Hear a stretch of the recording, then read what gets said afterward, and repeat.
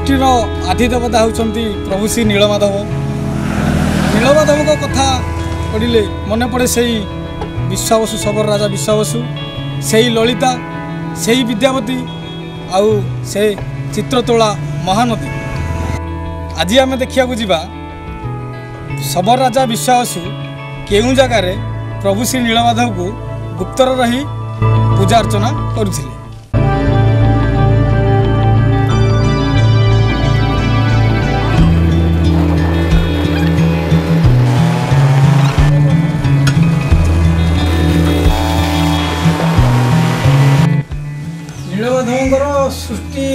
କେଉଁ କାଳରୁ ଏ ନୀଳମାଧବ ବିଷୟରେ ଟିକେ କ'ଣ କୁହନ୍ତୁ? ଥିଲା ଲଳିତା ଯେତେବେଳେ ବାହା ହେଲେ ବିଦ୍ୟାପତି କି? ହୁଁ। ନେଇଗଲେ ହୁଁ। ସେ ତା ପୂର୍ବରୁ ବିବାହିତ ନଥିଲା। ହୁଁ। ତେଣୁ ଧାଙ୍ଗିଡ଼ି ପାହାଡ଼ କ- ଧାଙ୍ଗିଡ଼ି କୁହାଯାଏ ଅବିବାହିତ ଝିଅକୁ। ହୁଁ। ତେଣୁ ତାକୁ ଧାଙ୍ଗିଡ଼ି ପାହାଡ଼ ବୋଲି ପାହାଡ଼ ନାଁ ଅଛି ସେ ଏଠି ବିଶ୍ୱାସ ଏଇ ଘର ଥିଲା ତେଣୁ ଏ ପାହାଡ଼କୁ ଯେ ସବୁବେଳେ ବୁଲି ଯାଉଥିଲା କ'ଣ ସାଙ୍ଗସାଥିରେ ତେଣୁ ଧାଙ୍ଗିଡ଼ି ପାହାଡ଼ ତା ନାଁ ହେଇଛି। ସେ ଧାଙ୍ଗିଡ଼ି ପାହାଡ଼ରେ ସେ ପୂଜା କରୁଥିଲା। ତେଣୁ ଏଇଠି ମନ୍ଦିର ତିଆରି ହେଇଛି ମନ୍ଦିର ତିଆରି ହେଇକି ଉଣେଇଶ ବର୍ଷ ହେଲା ପ୍ରତିଷ୍ଠା ହେଲାଣି କିନ୍ତୁ ସରକାରଙ୍କ ତରଫରୁ କୌଣସି ସାହାଯ୍ୟ ମିଳିନି ଅନୁଦାନ ମିଳିନି ସରକାରଙ୍କ ତରଫରୁ ଯଦି କିଛି ମିଳନ୍ତା ତାହେଲେ ଏଇ ଜାଗାଟା ଉପକାର ତାହେଲେ ଉନ୍ନତି ହେଇପାରନ୍ତା। ଉନ୍ନତି ହେଇପାରନ୍ତା ଆଉ ହଁ ସେତେବେଳେ କିଛି ନଥିଲା ସେତେବେଳେ କିଛି ନଥିଲା ପାହାଡ଼ ପୁରା ପାହାଡ଼ ଜଙ୍ଗଲ ଥିଲା ଏଇ ବାଟ ଯାକ ସବୁ ହଁ। ଏଇଟା ସବୁ ଏ ଜଙ୍ଗଲ କିମ୍ବଦନ୍ତୀ କେତେ କାଳର କୁ ମାନେ କେତେ ବର୍ଷର ହବ ପାଖାପାଖି ଇଏ ପାଞ୍ଚ ଛଅଶହ ବର୍ଷ ପାଞ୍ଚଶହ ଛଅଶହ ବର୍ଷର? ପୂର୍ବର କଥା ଆଉ। ଏଇଠି ସେ ପୂଜା କରି ଯାଏ ଢାଙ୍ଗିଡ଼ି ପାହାଡ଼ରେ ପୂଜା କରୁଥିଲା। ତେଣୁ ଯେତେବେଳେ ପଥର ଆସିଲା ଡଙ୍ଗାରେ ରଜା ଜାଣିନାହାନ୍ତି ଯେ ଧାନଚେଡ଼ାକୁ ରାସ୍ତା ଅଛି ବୋଲି ଆଗ ଘୋଷଣା ହେଲା ଧାନଚେଡ଼ାରେ ମନ୍ଦିର ତିଆରି ହେବ। ତେଣୁ ବୈଷ୍ଣବ ଧର୍ମୀମାନେ ଆସିକି ବାସ କଲେ ଏଠି। କିନ୍ତୁ ଯେତେବେଳେ ମନ୍ଦିର ତିଆରି ହେଲା କଣ୍ଟଲେନ୍ ତିଆରି କଲେ କଲେ ରାସ୍ତା ନାହିଁ। ତେଣୁ ଏଠୁ ଉଠିଗଲେ ଲୋକମାନେ ଆଉ। କୋଉ ରାଜା ଇଏ କରିଦେଲେ ଇନ୍ଦ୍ରଦୁମ୍ନ ରାଜା। ଇନ୍ଦ୍ରଦ୍ୟୁମ୍ନ ରାଜା। ଇନ୍ଦ୍ରଦୁମ୍ନ ପ- ମଧ୍ୟପ୍ରଦେଶରୁ ଆସିଥିଲେ ହୁଁ। ସେ ପୁରୀରେ ତିଆରି କଲେ। ମୁଁ ଏଠୁ ବିଦ୍ୟାପତିକି ପଠେଇଲେ ତ ତିନି ଚାରି ଦିନକୁ ଚାରି ଚାରି ଜଣଙ୍କୁ ପଠେଇଲେ ହୁଁ। ଦୂତକୁ। ହୁଁ। ତେଣୁ ବିଦ୍ୟାପତି ଆସିଲା ଦକ୍ଷିଣକୁ। ଦକ୍ଷିଣ ଆସିଲା ସେ ମହାନଦୀ କୂଳରେ। ଓହ୍ଲେଇକି ମହାନଦୀ କୂଳରେ ଏକରେ ଗାଧେଇଛି। ହୁଁ। ମହାନଦୀ ସେକରୁ ଏକରକୁ ଆସିଛି ଏକରେ ଗାଧେଇଛି। ହୁଁ। ଗାଧେଇକି ପୁଣି ମାଧବଙ୍କୁ ସ୍ମରଣ କରିକି ଆସିଛି ଆସିଛି। ଆସିବା ପରେ ସେ ଧାଙ୍ଗିଡ଼ି ପାହାଡ଼ରେ ଆଗ ଲଳିତାକୁ ଆଗ ଭେଟ ହେଇଛି। ଲଳିତାକୁ ଭେଟ ହେବା ପରେ ତାକୁ ସବୁ ଜିନିଷ ପଚାରିଛି। ସେ କହିଛି ବାପା ଯାଇଛନ୍ତି ପୂଜା କରି। ହୁଁ କେଉଁଠି ପୂଜା କରି ଯାଇଛନ୍ତି? ନା ମାଧବଙ୍କୁ ପୂଜା କରି ସେ କହିଲେ ମୁଁ ଠିକ୍ ଜାଗାରେ ଆସିକି ପହଞ୍ଚିଗଲି ଆଉ। ହୁଁ ତେଣୁ ଲଳିତା ସହିତ ସମ୍ପର୍କ ରଖିଲେ। ହୁଁ। ରହିଲେ କିଛି ଦିନ। ହୁଁ କାହିଁକିନା ବି- ବିଶ୍ୱାସ ଯେତେବେଳେ ଆସିକି ଗୁପ୍ତ ଭାବରେ ରହିଲେ ଆଉ। ଗୁପ୍ତ ଭାବରେ ରହିଲେ ଆଉ ବିଶ୍ୱାସ କହିଲେ ଯେ ଏତେ ବାଟରୁ ଆସିଛନ୍ତି ଆପଣ ରହନ୍ତୁ କିଛି ଦିନ। ହୁଁ। ସେ ରହିଲେ ହୁଁ। ଏକାଠି ରହିଲେ ଲଳିତା ସେଥିରେ। ହୁଁ। ଲଳିତା କହିଲା ସୋରିଷ ଖଣ୍ଡେ ପକେଇକି ଯିବ ମୁଁ ତ ଦେଖିନି। ହୁଁ। ମୋତେ ଦେଖିନାହାନ୍ତି ବାପା। ହୁଁ। କାହିଁକି ନା ଦେଖିଲେ ସେ ଅନ୍ତର୍ଧ୍ୟାନ ହେବେ। ହୁଁ। ତେଣୁ ମୁଁ ସୋରିଷ ଖଣ୍ଡେ ତମେ ଅଣ୍ଟାରେ ବାନ୍ଧିକି ପଛକରେ ବାନ୍ଧି ବାନ୍ଧିଦିଅ। ଆଖିରେ ବନ୍ଧା ହେଇଥିବ ଇଏ। ଆଖିରେ ଅନ୍ଧପୁଲି ବନ୍ଧା ହବ। ପଛପଟେ ବାନ୍ଧିଥିବ ପଡ଼ି ପଡ଼ି ସେ ଯିବ ଯୋଉଠି ଗଜା ହେଇଥିବ ଏ ଗଜା ଦେଖିକି ତମେ ଯିବ ସେଠିକି ଆଉ। ଏ ଜାଗାକୁ ଆଉ। ଏ ଲଳିତା ବା- ବର୍ତ୍ତି ଦେଇଛି ନୀଳମାଧବଙ୍କୁ ଦେଖିବା ପାଇଁ ତେଣୁ ତାଙ୍କୁ ତାଙ୍କ ଥ୍ରୋରେ ଯାଇକି ସେ ଦେଖିଛି ଆଉ। ହଁ ଠିକ ଅଛି।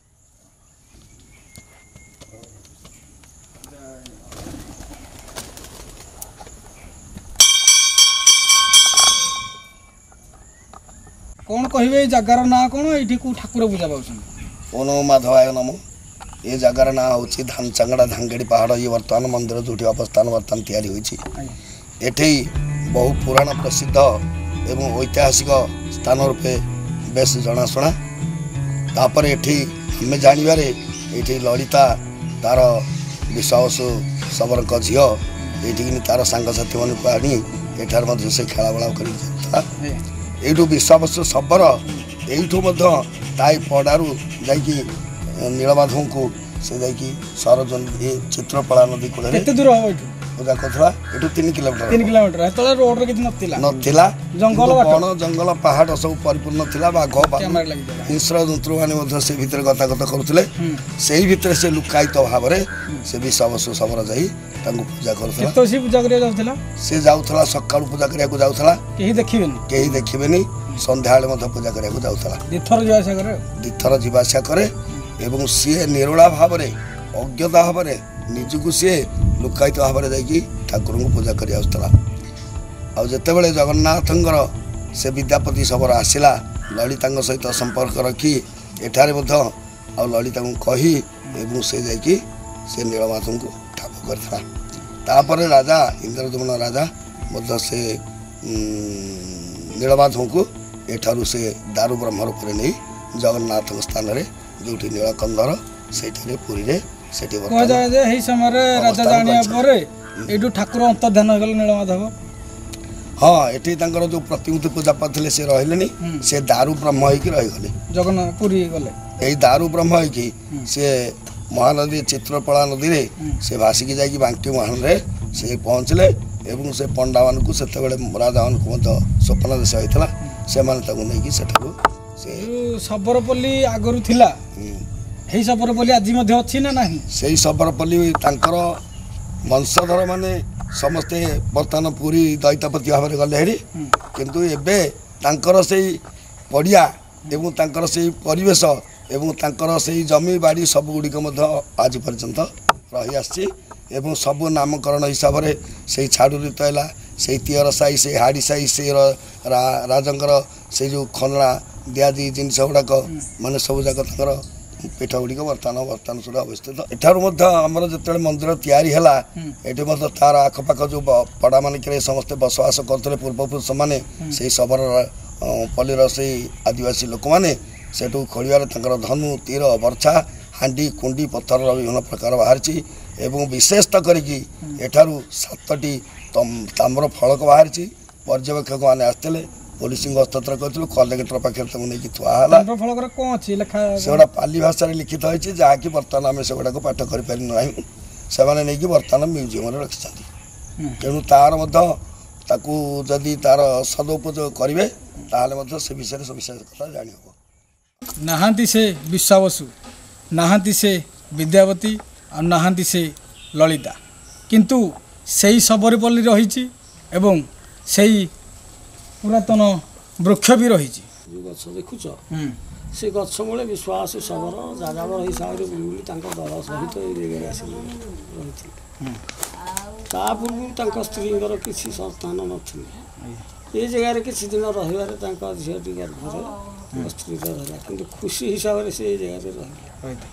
ରହୁ ରହୁ କିଛି ଦିନ ଭିତରେ ମାଧବ ତାଙ୍କୁ ସ୍ୱପ୍ନ ଆଦେଶ ଦେଲେ ଯାଇକି ପୂଜା କର ସେ ଖୋଜାଖୋଜି କରି କରିକି ଯାଇକି ମାଧବଙ୍କୁ ପୂଜା କଣ୍ଟିଲ। କରନ୍ତି। କଣ୍ଟିଲ କଣ୍ଟିଲ ଏଇଠୁ ସିଏ ପ୍ରତ୍ୟେକ ଦିନ ଯାଆନ୍ତି ପୂଜା କରି ପ୍ରତ୍ୟେକ ଦିନ ଯାଆନ୍ତି ସେ ଜାଗାକୁ ପୂଜା କରନ୍ତି ଏଇପଟେ ଯେଉଁ ନଦୀଟେ ଅଛି ଦେଖିବ ଯୋଡ଼େ ନଈ ଦୌଡ଼ିକି ନଦୀ ହଁ ଗୋଟେ କୁଆଁରିଆ ଆଉ ଗୋଟେ କୁସୁମ ନା କୁସୁମ କଣ? ଏଠି ମେଳା ହେଇଛି ତା ପାଖରେ ନଦୀଟା ଏ ସେଠି ନଥିଲା ଇଆଡ଼କୁ ବୁଲିକି ଆସିକି ଥିଲା ହୁଁ। ଏ ଗାଁ ତଳେ ସେ ନଦୀ ବି ଅଛି ସନ୍ତକ ପୋତା ହେଇକି ପୋତା ନଦୀ ହେଇକି ଅଛି ସନ୍ତାନରେ ଆଉ ସେଇଠି ସେ ବିଦ୍ୟାପତି ଆସିକି ଲଳିତଙ୍କୁ ସେ ଜାଗାରେ ଭେଟିଲେ ପାଖ ଏଇଠି ଇଏ ଯାହାହେଲେ ପଚିଶ ତିରିଶ ବର୍ଷ ରହିକି ମାଧବଙ୍କୁ ପୂଜା କରିଥିଲେ ଯାହା ଅନୁମାନ ତାଙ୍କ ଝିଅ ତାଙ୍କ ଅଁ, ବଡ଼ ରହିଲେ ତାଙ୍କ ମା ଗର୍ଭରେ ସେ ଝିଅ ପୁଣି ଯୁବା ହେଲା ସେ ପର୍ଯ୍ୟନ୍ତ ଏ ଜାଗାରେ ସେ ଅପେକ୍ଷା କରିଥିଲେ କୁହାଯାଏ ଯେ ଯେଉଁ ଆମର ଯେଉଁ କଥାରେ ଅଛି ସେଇ ସୋରିଷ ବିଲର କ୍ଷେତେ ଥରେ ନିଅ ହେ ମାଧବ ମତେ। ଏଇଠୁ ଯାଇଥିଲେ ସିଏ? ଏଇଠୁ ଏଇଠୁ। ସୋରିଷ ବୁଣି ବୁଣି ଯାଇଥିଲେ ଏଇଠୁ।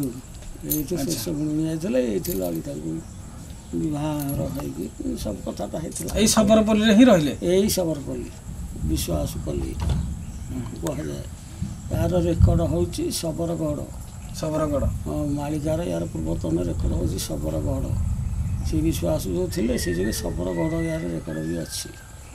ଏହାର ଏଇ ମାଳିକା ଲେଖା ମାଳିକା ନୁହଁ ତ ପୂର୍ବତନ ମାଦଳା ପାଞ୍ଜି ଲେଖା। ମାଦଳା ପାଞ୍ଜି ଲେଖା। ହଁ।